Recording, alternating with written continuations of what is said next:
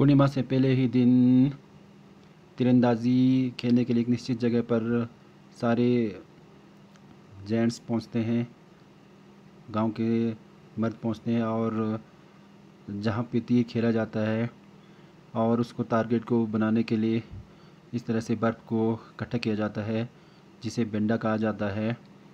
तो चाहे बर्फ़ जितनी भी हो, उस जगह पर इसे तैयार किया जाता है। तो इसे बेंडा कहते हैं। इसकी दूरी कम से कम 50 मीटर, यानी कम से कम डेढ़ सौ फीट की दूरी पर बनाया जाता है। दोनों तरफ़ एक जैसे आकार के बनाया बनाया जाता है। और हमेशा ये, सबसे पहले ये पूर्व दिशा वाला पहले तैयार किया जाता है।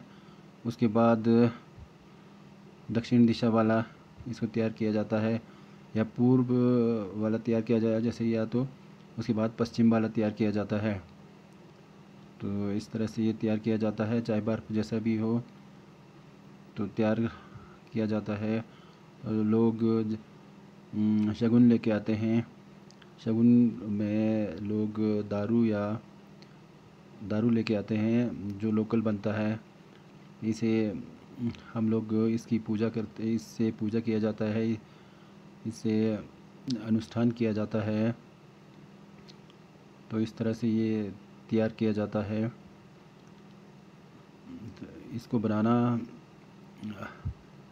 इतना आसान नहीं होता है क्योंकि बर्फ़ अभी ठीक ढंग से चिपकता भी नहीं है तो इसको धूप में पड़ने के साथ साथ इसमें अच्छी तरह से ये बनाना पड़ता है और ताकि जब ये एक अगले दिन खेल, खेलते समय तो सुबह जब लोग इकट्ठे होते हैं तो ये बिल्कुल तैयार होना चाहिए।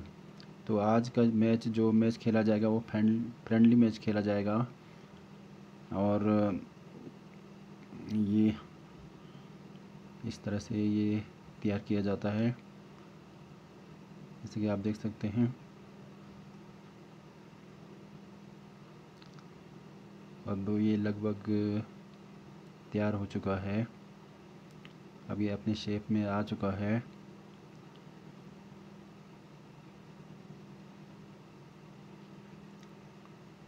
अभी ये आप इसे देख रहे हैं, इसके आकार को। इसे हम ऐसी खुली जगह पे बनाते हैं ताकि साथ में खाने की व्यवस्था हो और यहाँ के जो जितने भी गाँव के मर्द जो यहाँ खेलने आते हैं और साथ में पास में लेडीज़ लेडीज़ खाना बनाने के लिए आते हैं बारी बारी से खाना बनाने बनाने के लिए बारी लगाया जाता है। तो आप, ये देख सकते हैं। अब ये दोनों तरफ़, लगभग तैयार हो चुका है। अब आप ये देख रहे हैं, इसे चा कहा जाता है। ये कोरे कागज़ पे बनाया जाता है। कोरे कागज़ वाइट और और दूसरा ब्लैक रंग का होता है और गत्ते से इसको इस तरह पक्का बना जाता है। जैसे कि आप ये देख रहे हैं, निशान इसका वाइट अंक पे लगने पर सेंटर में लगने पर तीन पॉइंट्स मिलते हैं और और और ब्लैक रंग पे लगने पर दो पॉइंट्स मिलते हैं। तो इसे इस तरह से नापा जाता है और इसे सेंटर में लगाया जाता है।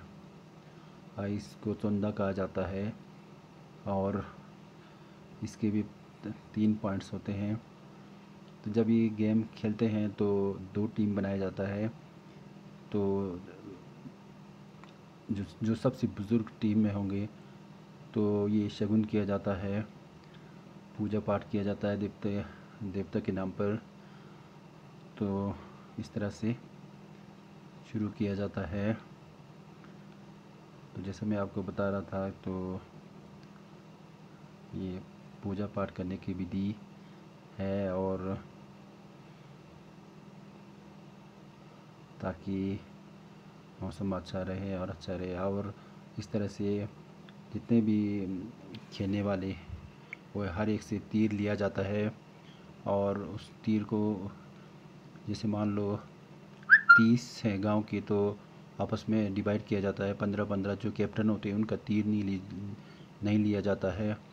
बाद में एक एक तीर पूछा जाता है कि दोनों कैप्टन पूछा कि कौन सा चाहिए तो एक बंडल, एक कप्तान को दूसरा बंडल, एक कप्तान को दिया जाता है। तो बाद में बराबर करने के बाद पूछा जाता है कि ये तीर किसका है? तो वो उसी उसी टीम में शामिल हो जाता है। तो जैसे आप देख रहे हैं, एक बंडल, एक कप्तान को दिया है तो दूसरे, जिसे मकगूपा कहा जाता है हमारी बोली में तो एक एक से पूछा जाता है तो वो उसी टीम में शामिल हो जाता है।